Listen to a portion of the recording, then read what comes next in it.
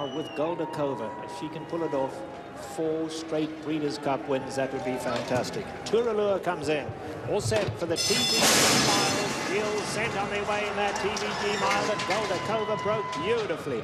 She obviously doesn't want to go for the lead, though. She leaves that to Get Stormy, who strides up alongside of Geronimo. Goldikova's right there at the rail, though, only two lengths off the leaders. On the outside, Sidney's Candy's right with them as well. Compliance officer is caught wide into the turn. Mr. Commons is right in there. Courageous Cat is going right up alongside of Goldikova. Strong Suit is racing back five off them with Byword.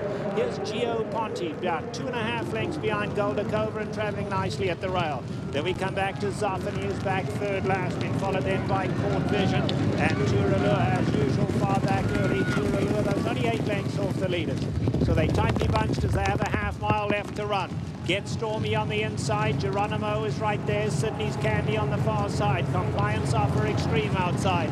Then it's Courageous Cat. Let's see. Here's Goldikova tucked in beautifully.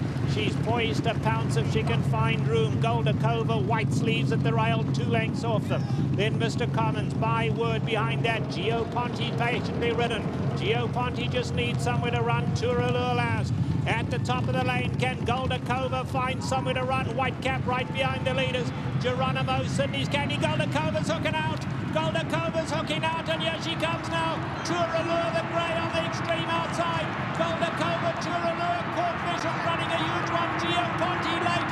It's Goldikova in the race of her life. Turallure, Court Vision, Court Vision gonna outrun it. Turallure on the outside. Oh, they hit it together. Too close to call. Court Vision, Turallure inch in it. Goldikova, what a magnificent run. She almost got there, but Goldikova finished up third in a valiant effort. And